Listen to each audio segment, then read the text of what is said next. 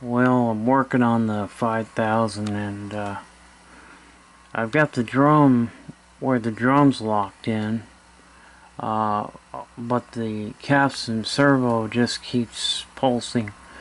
Um, I don't even know uh, why because I actually changed the capstan motor and uh, still got the same issue. And I thought it might have been the capstan motor uh, but it's not so, but what I do want to, and I broke one of the potentiometers. The plastic just broke off on it because it's so brittle because of its age. And trying to adjust it without anything to turn it. Yeah, it's about the best I can get. I can get it pretty close, and then uh, you can hear the motor just pulsating. There's an adjustment for the speed depth, and it's possible that that could be it could be bad caps on that as well because what's happening is that the tape is not uh, playing back at the right speed. So we got the the capstan and the drum is the drum is locked in, but the capstan is not. So there's a problem with that with the capstan.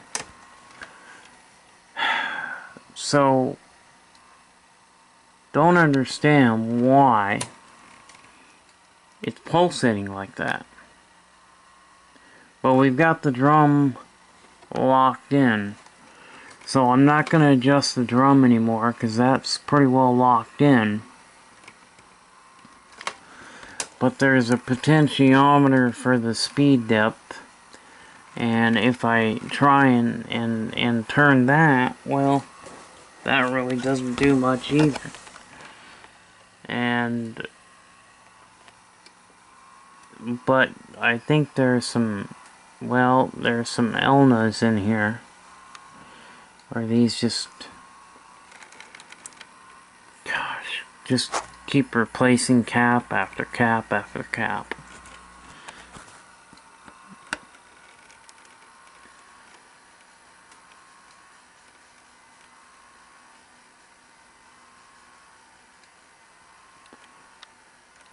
I get it to, to kind of lock in, but the, the drum's locked in, but the capstan is not. We do have um, a potentiometer that is actually um, broke off. But you can see that we uh, we at least got the the drum to lock into place, but there's a lot of problems. I just about bet that um, this IC here is failed or interesting it just uh, stopped on me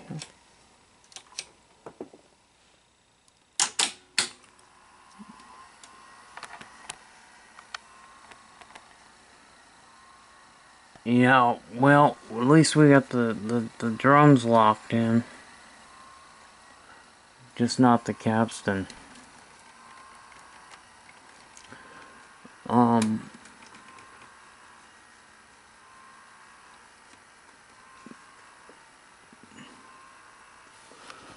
Well, system control board, this IC may have I'm wondering if uh, this IC has got a bad joint. Um,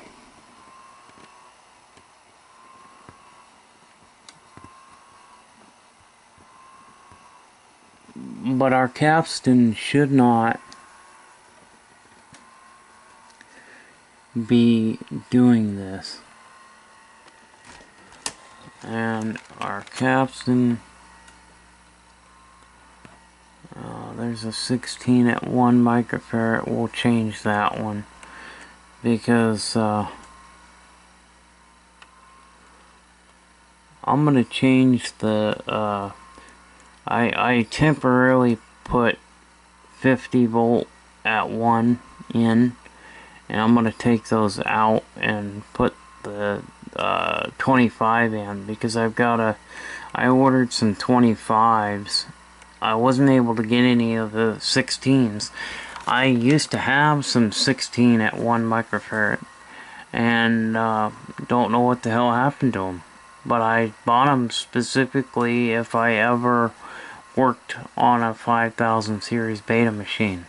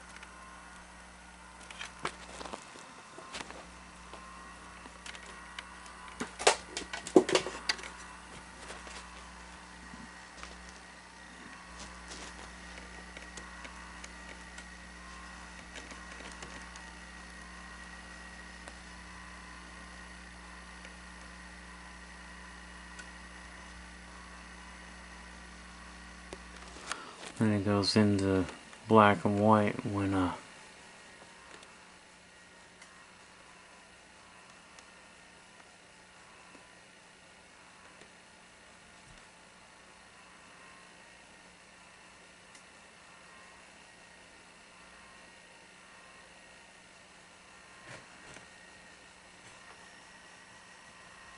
Now, part two, I have literally started to replace um, all of the caps uh, in the servo and capstan servo. I do have a picture now, a, a color picture, and I have a continuous picture. Um, but we're still running at too slow of a speed. And it's almost like it's it's even running uh, slower than even the beta 3 speed is is too slow. So I was looking at some of the capacitors. Um, this is the control amplifier. So this is where the um,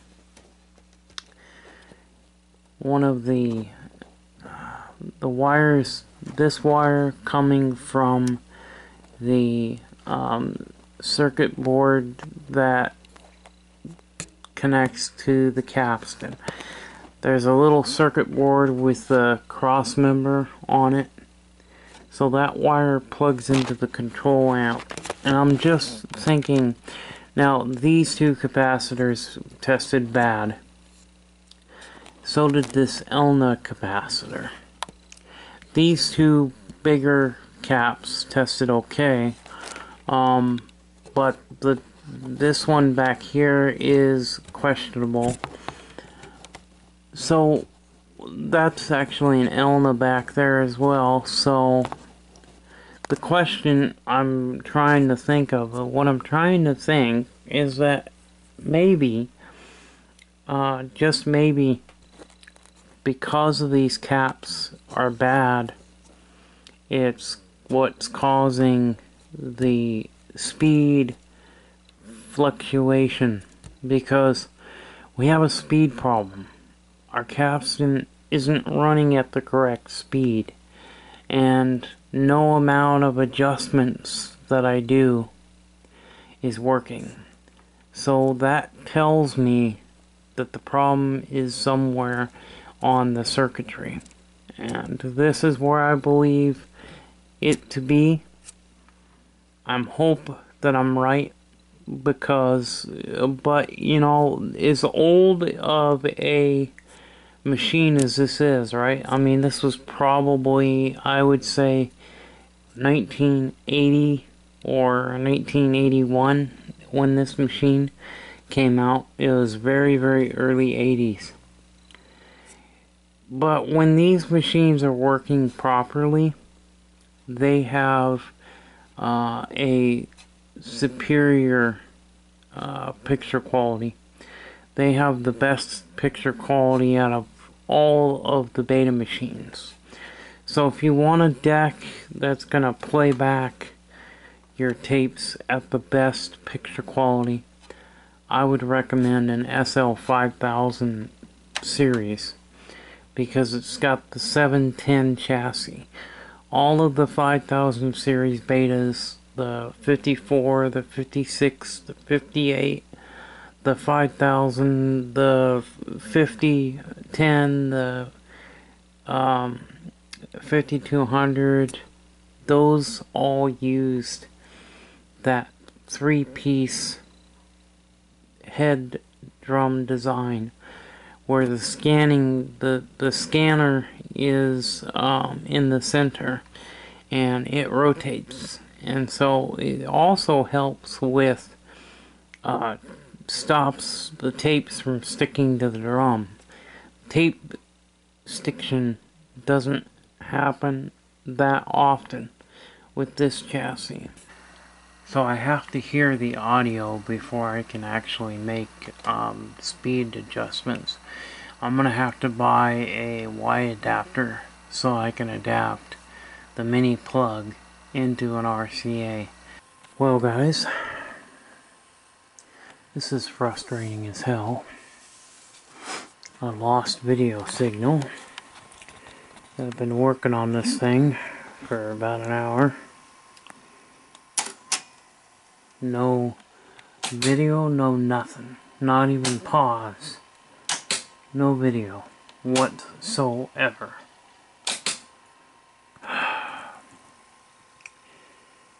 Well, now I gotta find out why I got no video. Stupid thing. You know, this is a... I, I like a challenge, but, uh, this thing is, is just about ready to, uh, kill me off. And, uh, man, just about ready to just throw up my hands on this thing and quit. But I can't do that because this is not my machine. This is a customer's machine. So I need to fix it. I need to get this sorted out. Okay, so uh, after we got a nice, clean, stable image, I went to test it again, and then I had no video whatsoever. And I was doing some diagnostics and doing some checking and started to looking at the components and whatnot. And then I spotted this. These wires have now I have marked them with a red and a black pin because I am going to um, have to reconnect the wiring. Um, but you can see the wires have come undone from the circuit board. So it looks like the wire just pulled completely out but I'm thinking that this might also be the cause of the capstan motor uh, pulsating. Um, and what I mean is like the, the capstan motor will come on full speed for about a half a second and then it'll stall out and then it'll spin and then it'll stall stall out so with those wiring that wire being um, severed the connection has been severed uh, that should explain why my capstan motor is uh, pulsating and uh, I pretty sure that this is the cause. I don't like working on the SL5000 series because of this reason. The wiring always tends to uh, come apart because the, the wiring is so small and when you pull down on the boards and you're opening and closing the board uh, this can happen and this has happened to me before. Um, and so okay why was I not getting video? Well okay look there's two more. I could see two more that have come out of their sockets. So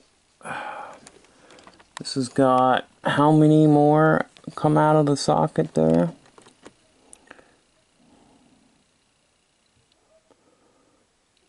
So looks like this one goes over here, that one goes over there.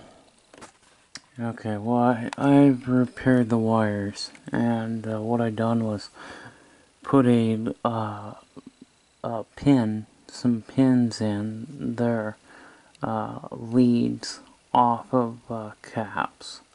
So I got some leads that I poked through the hole, soldered them in now I'm going to put some uh, heat sink or heat shrink around the connectors but I have connected them temporarily just to see if this is going to repair the video.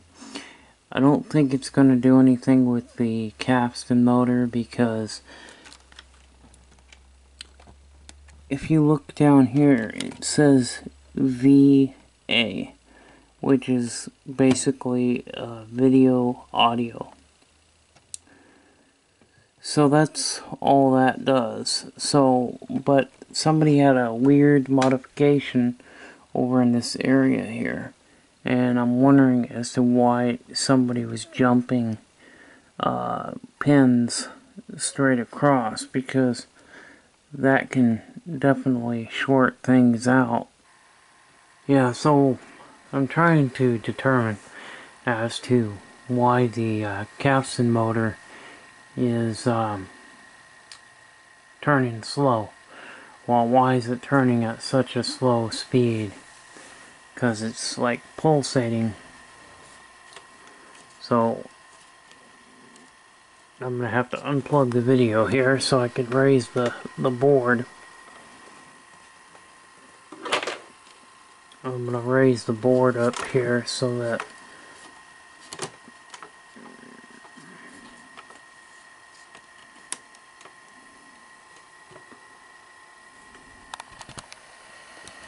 Hold on, I gotta do this.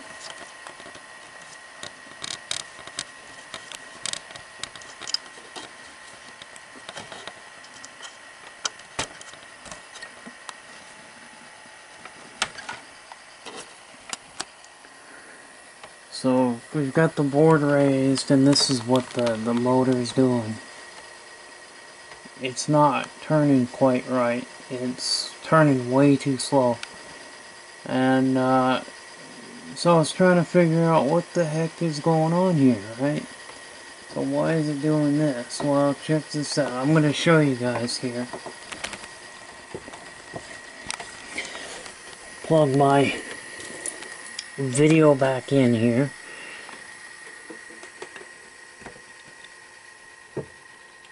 I also had to resolder the uh, video connector, but you saw that we lost our video simply because the wire connecting to the board, which is a hard wire that's soldered directly into the board, um, that connection failed and so that's why I lost the video.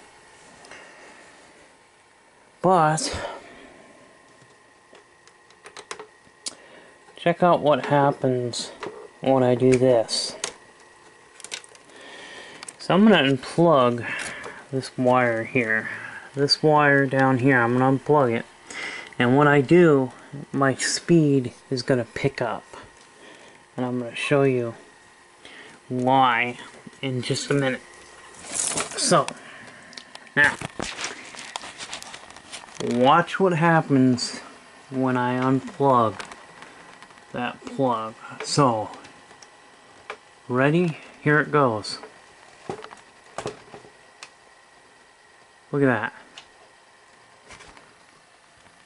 Our speed has increased.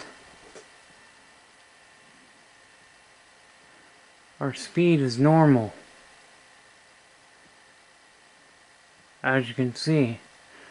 Now our capstan's not running at the right speed. We have no speed control. But it's running at the right speed except for for the audio. Now the audio is going to be sounds like a chipmunk. Okay, what I'm trying to get across here is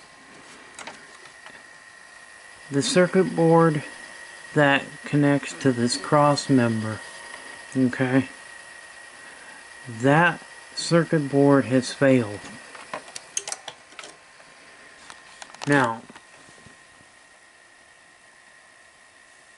I was messing with this today and I actually now you can see see how good that capstan's moving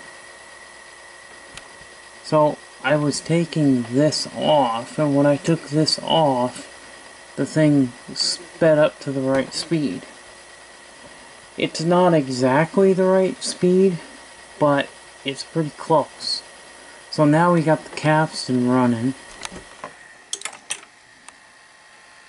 Our counter is now running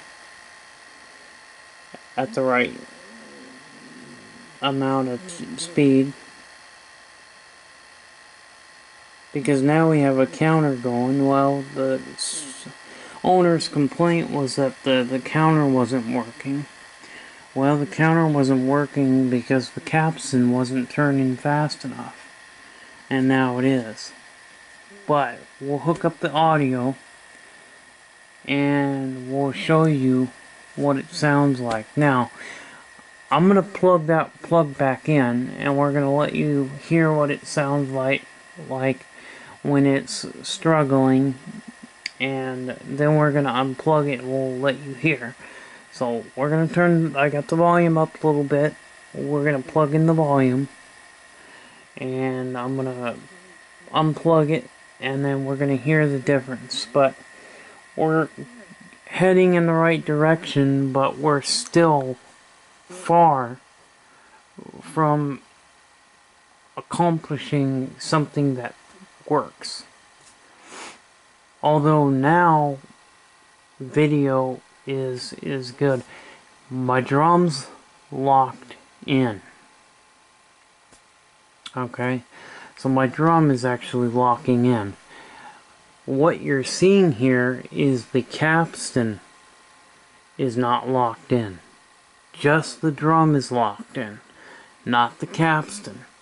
If the capstan's not locked in, you'll have this kind of a, a problem in image. It looks like it might be a drum servo, but it's not.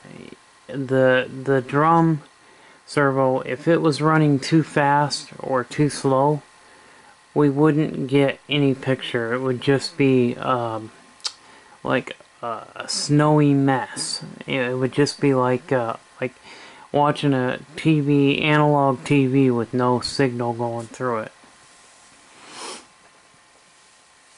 So let's get the audio hooked up and I'll show you what's going on. Okay, well this is what it sounds like when it's not plugged in.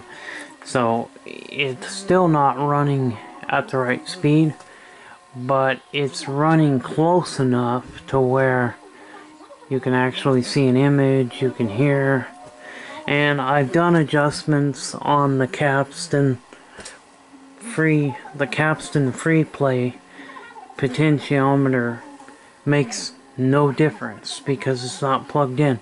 Well, even when it is plugged in, it doesn't make a damn bit of difference. You want to know why? Because either there's a problem in the control amplifier circuitry, the control circuitry for the capstan speed. You see, this detects the rotation of the capstan.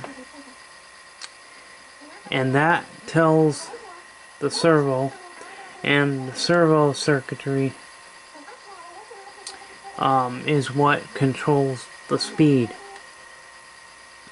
But anyway, so this is running at almost almost at the right speed, not quite, but almost. Now hear the sound when I unplug. I'm gonna unplug this wire here. Now, or no, I'm gonna plug it back in. I'm sorry. I'm gonna plug it back in. See that? Hear the audio?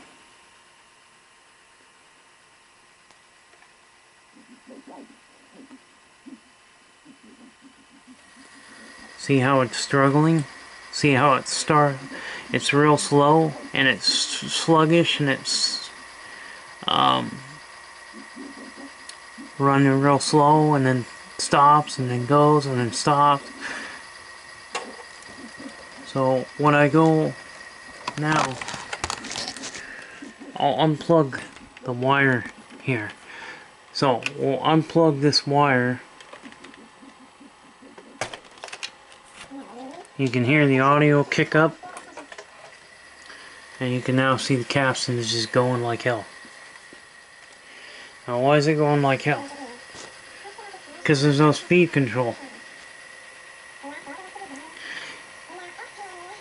this does not only does it uh, pick up the rotation of the capstan but I also believe that it does maybe possibly sends out information as well.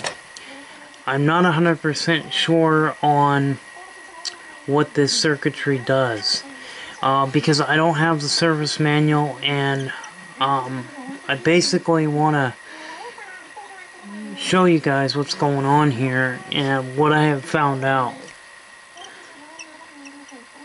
I am going to change this out. Um, and we'll see what happens because I do have another one of these but we'll change it out if it still does this after changing that then I have to look at the circuitry on the control amp. Uh, the control amp is right here. CTL amp, control amp, okay? This control amp, this is the circuitry in here. Now, I'm going to test some of the components as well because either this piece, this circuitry here has failed or the circuitry here has failed. One of those two. Or could have a capstan that's failed, a cap that's failed that I, I put a new cap in, but with the cheaper capacitors that I buy, sometimes they'll be brand new and they'll be bad. And uh, 12 volt vids actually did a uh, this a video on that. He was doing a video and he was talking about that.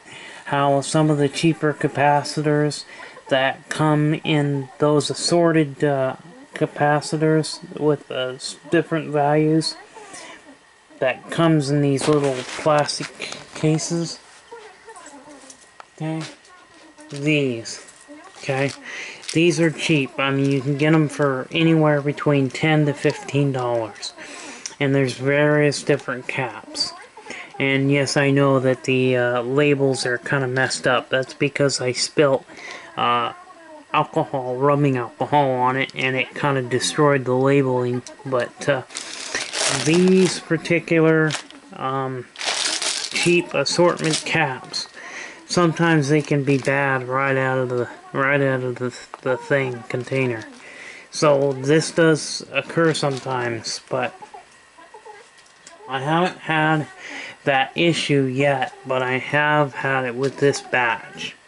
So I'll probably just get another batch and I don't know. We'll, we'll see what one. I'll have to test them with the ESR before I put more in from this batch. I'll probably just get another batch, but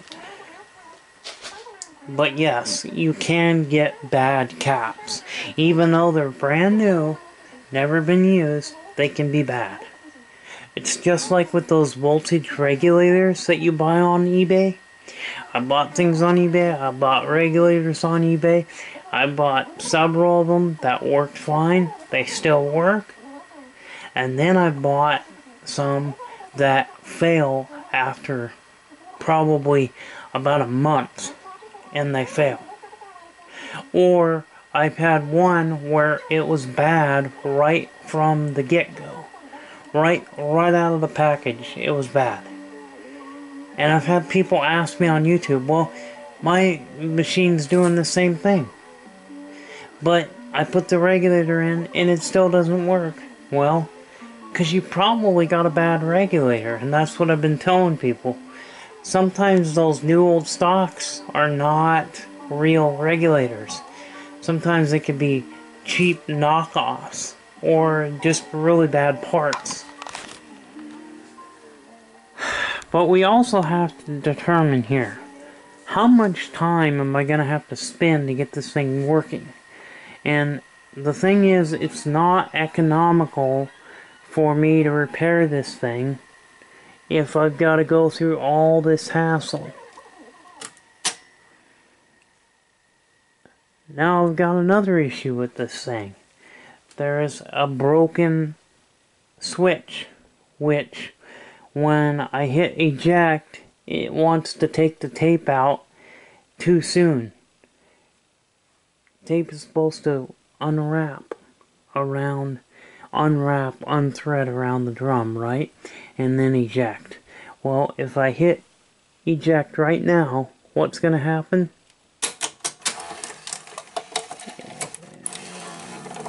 Yep. Because it doesn't want to eject. Because there's a switch that's messed up. So what switch is that? Well, this is a broken switch this one right here this is the switch this one right here that's the one that's broke now when I push the switch in okay then I'm gonna hit the eject I'll release it and now it gives me back my tape but with that switch broken it'll sit there and See, now it's chewed my tape. But I did that to show you guys. This machine has too many problems for me to fix it economically. I don't know. I'm going to talk to the seller. I'm going to see what he wants to, I mean the owner. I'm going to talk to the owner. I might have said seller before, but I meant owner. I'm going to talk to the owner and see what he wants to do because I'm going to tell him, I'm going to encourage him that probably be a good idea if I just sold him a machine that I've already refurbished. Because this may not get a part 3. Because at this point in time, this machine has too many problems and he I charge $30 an hour. Okay? So I'm charging 30 bucks an hour. It can take me, usually I can repair a machine if it only has one problem.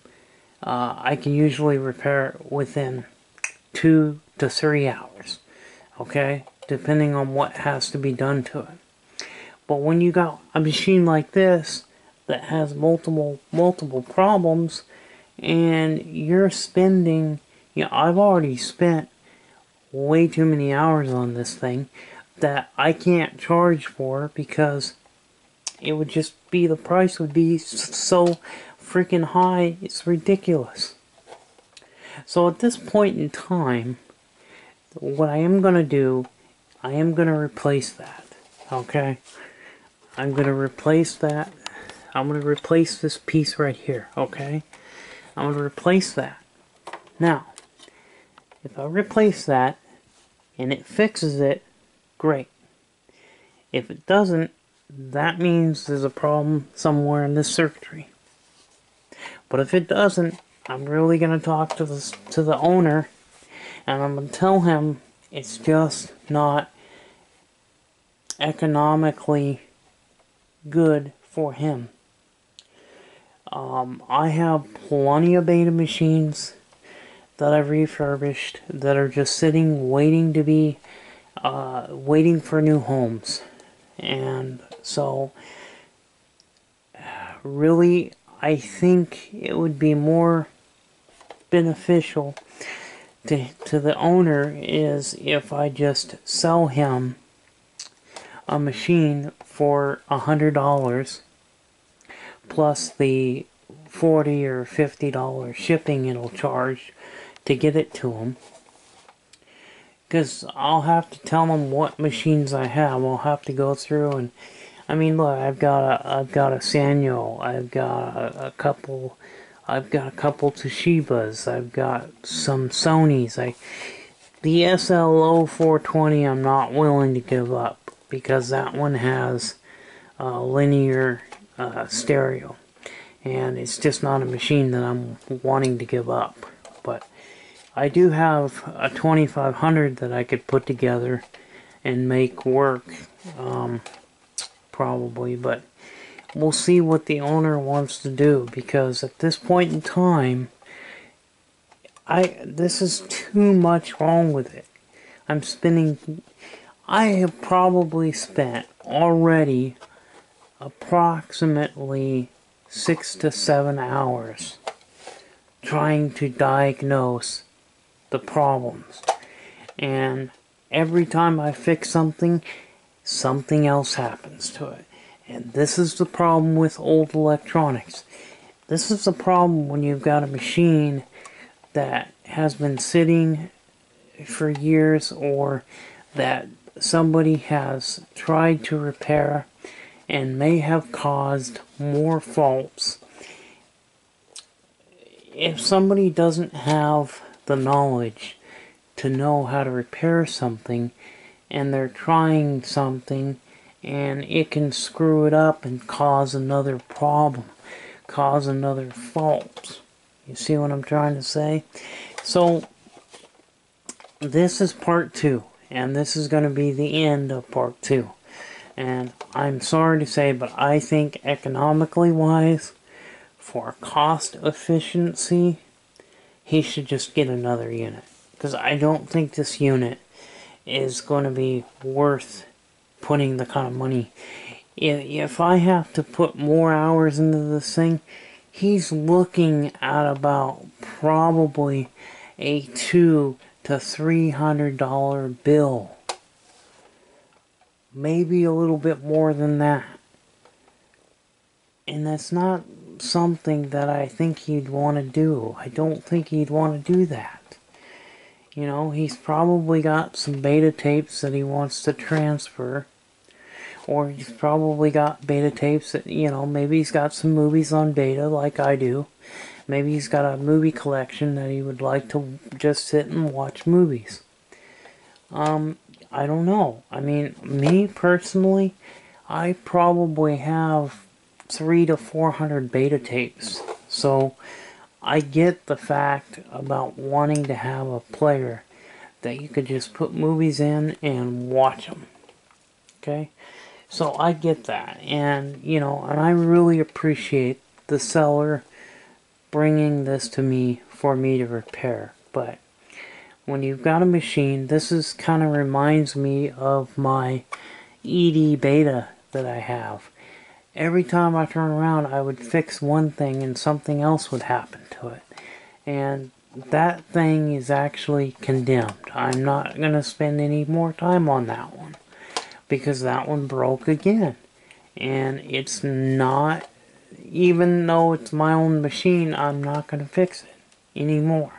I'd give up. I'm done on the ED beta. Will I get another ED beta? Yeah, probably later on down the road. But not right now. Because there's more stuff that's more important that I need to get right now in my life than uh, ED beta. Yeah, I will eventually get an ED beta. But anyway, that's beside the point. I've already spent way too long on this video, but this video is basically number two.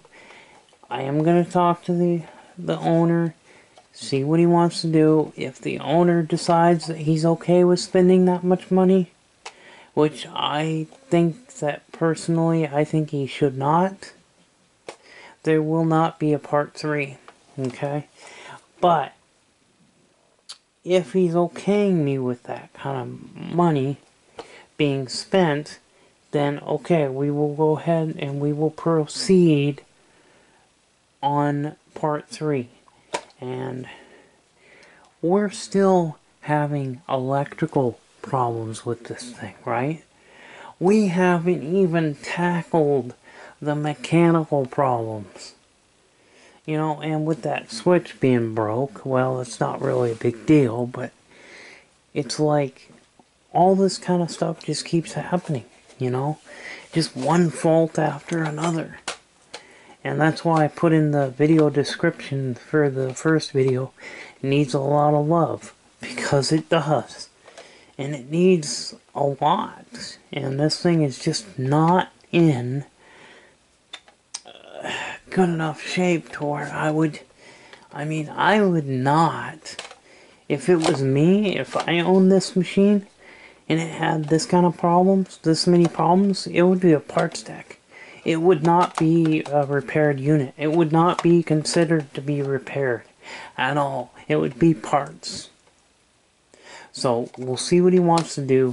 I, I do, I would like to have this fixed, but the owner needs to know what he's up against.